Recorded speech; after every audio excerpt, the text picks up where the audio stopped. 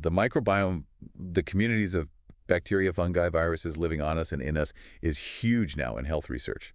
And there's evidence it influences sex-specific immunity. How so? Well, the skin microbiome differs between males and females. This might be down to differences in hormone metabolism in the skin, sweat rates, skin pH, even things like sebum production effect, which microbes thrive. And we know the skin microbiome is altered in HS. Exactly. So you have an altered microbiome in HS, and you have underlying immune differences between sexes. How do those two interact?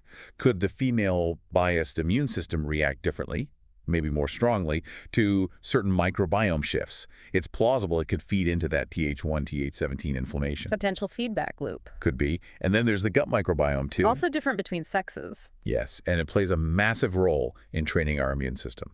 Altered gut microbiomes are linked to things like Crohn's disease, psoriasis, conditions sometimes associated with HS. Hmm. Given the links between HS and diet, obesity, metabolic syndrome,